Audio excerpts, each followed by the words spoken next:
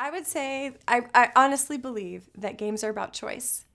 Um, they're about giving you meaningful choices. Um, Warren and I have had many conversations about this.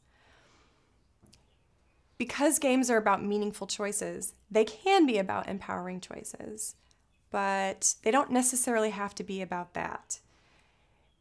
I'm working on a game concept right now that's actually about transformation and about understanding how emotional environments that people live in, the challenges that we have as people day to day, they're not really like you see in blockbuster films or even in some games. It's not like you have a problem and then you can just go and solve it by getting revenge, or you can go back in a time machine and fix it.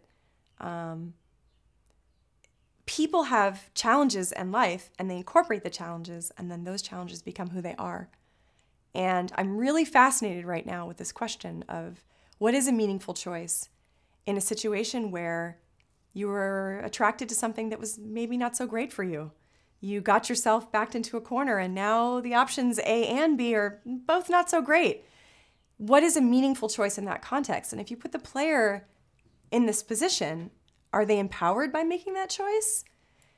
The design of the choice itself is really important. It can't feel false. It can't feel like I'm just beating you over the head with feeling screwed. You know, you need to be able to see and empathize with the situation the character is in, and then to be able to move forward from a place of disadvantage. Um, many people are challenged in their lives from the very beginning. They are not born where I was born on the planet, in the body and the class and the society that I'm in. And I've spent a lot of time lately thinking about games for those people, people that have had a very different experience um, and may not necessarily be as interested in processing empowerment as processing the challenges of becoming a whole person in an environment that's constantly pushing back on them. So, Cliffy and I have talked about this. He says he's guns and I'm roses.